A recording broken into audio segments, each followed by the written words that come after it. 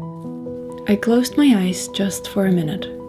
It's already November, the transitional month, most melancholic of all, when the lush golden beauty of October fades into bare and solemn stillness of the fast approaching winter. This time in between, a harsh transition into months of dormancy, both physical and mental too.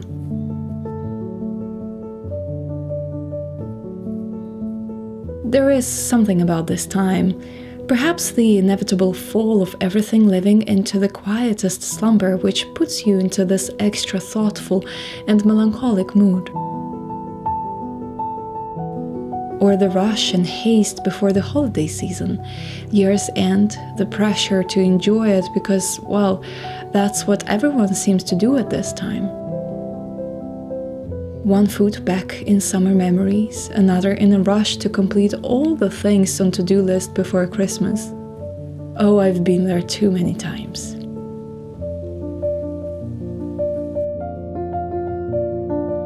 In all honesty, I haven't been feeling my best these past few months. So, for that reason, I wanted to share a few things I like to do in autumn to make me feel better and help me find new appreciation for this season.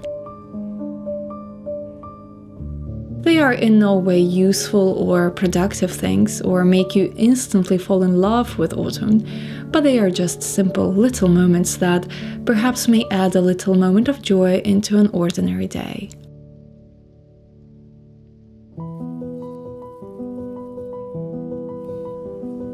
I go out a lot on walks in nature, which perhaps is the most obvious thing to do, but believe me, sometimes it's so hard to actually find strength and purpose in these walks. Whenever I go out, I treat it as a sort of meditative time or a little exercise away from the screens, from the familiar environment at home, from sounds coming out of the computer, or any other distractions. I don't listen to anything, just observe or focus on the sounds that surround me. I find this experience very inspiring. To make these walks more interesting, I try to find some edible plants or something to forage for. Mushrooms are very abundant at this time of the year. I actually thought there weren't many mushrooms in England, but I was very much mistaken as there are a lot. I'm not very knowledgeable though, so I stay away from picking them. There is a great book about mushrooms which I am yet to read, and before I do, I will stay away from eating any forest fungi. There are many poisonous ones, or the ones that disguise themselves as edible. Without substantial knowledge, they might be a bit too dangerous to forage for. But I still find so much joy in simply searching for them and taking loads of pictures.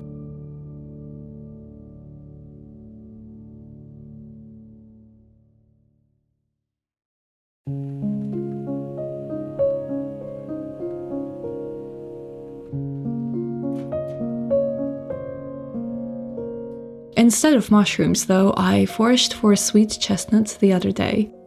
Do not confuse them with horse chestnuts. The edible ones are covered in needles on the outside and are almost impossible to handle with bare hands.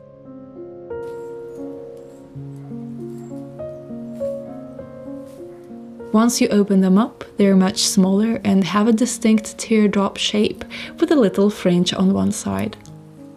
There are many sweet chestnut trees in England, but if you can't find a tree or they don't grow where you are, chestnuts are usually sold at supermarkets at this time of the year. The process of roasting and peeling them is quite tedious, but I like to believe that sometimes we should allocate time for things that are a bit different and slower than our routine.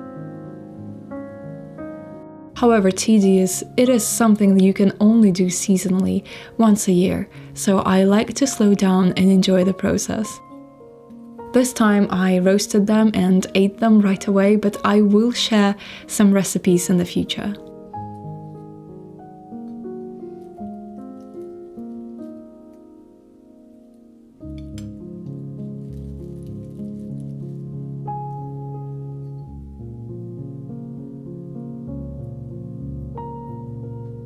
When I lived in a big city, I used to take a book and go out to a quiet cafe and simply people watch from my dimly lit corner. I haven't done this for a while now, but I think that would be a wonderful thing to do this November.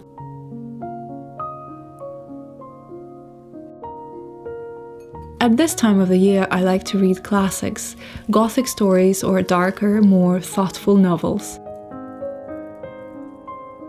I have recently finished reading Wuthering Heights and moved to the portrait of Dorian Gray. I think these two books are perfect for this season.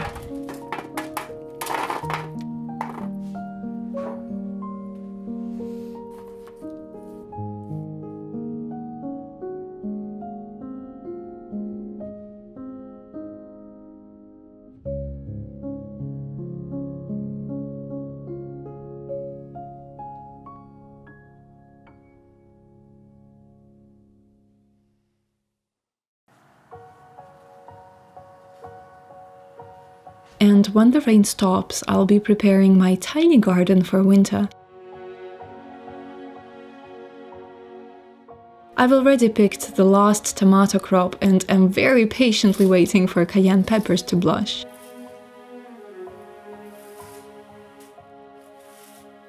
I will be planting flowers for spring very soon. Tulips, daffodils, crocuses and snowdrops. Come February, they will burst into most beautiful colors.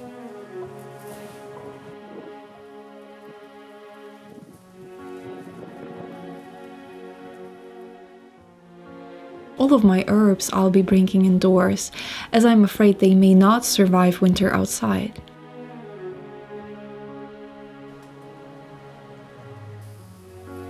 I'm not the most knowledgeable gardener, but there is something so inspiring about nature and its cycles. Even if you don't have a garden, I encourage you to plant something on the balcony or on the windowsill and watch it grow this winter.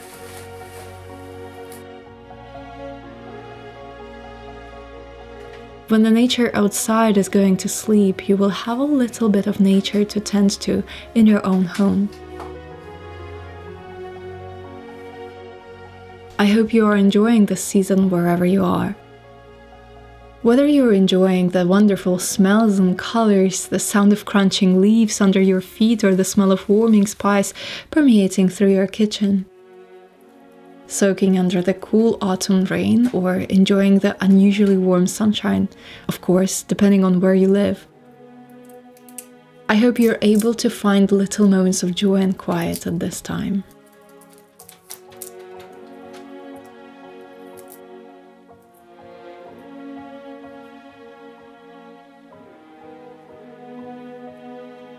Please let me know what your favorite autumn activities are, and I'm looking forward to seeing you next time.